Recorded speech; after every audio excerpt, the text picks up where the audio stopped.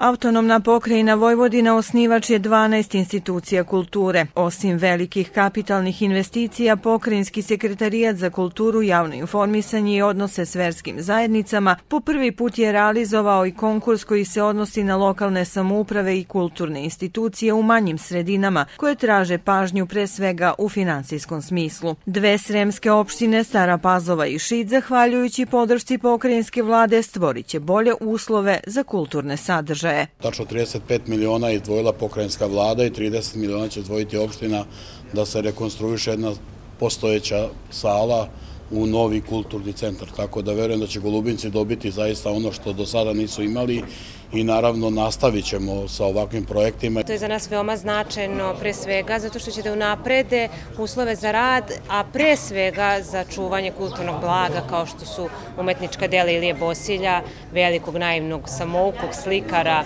iz Šida. Opredeljeno je 265 miliona dinara za osam vojvođanskih projekata za koje su danas potpisani ugovori u Staroj Pazovi. Godinama unazad upravo objekti kulture, institucije kulture bili zaista zapušteni i potpuno devastirani, to slobodno mogu da kažem i mi smo zaista uložili ogromne napore da tu sliku o kulturnom životu u autonomnoj pokrajini Vojvodini promenimo. Intenzivan, kontinuiran i usklađen kulturni razvoj u Vojvodini ostaje prioritet. U Staropazovečkoj opštini i u Golubincima ćemo uložiti značajna sredstva kao u ostalom i u Torku, u opštini Žitište, u Ođacima, u Srbobranu i na mnogim drugim mestima E, sa ciljem da u novim adaptiranim prostorijama kulturnih centara, domova kulture, stvorimo bolje uslove za rad kulturnih delatnika. Predsjednik Mirović je najavio da će do kraja juna biti raspisana javna nabavka za sveobuhvatnu rekonstrukciju studija M i izgradnju novog muzeja 2021 u Novom Sadu, što će biti najveća investicija u oblasti kulture u Vojvodini,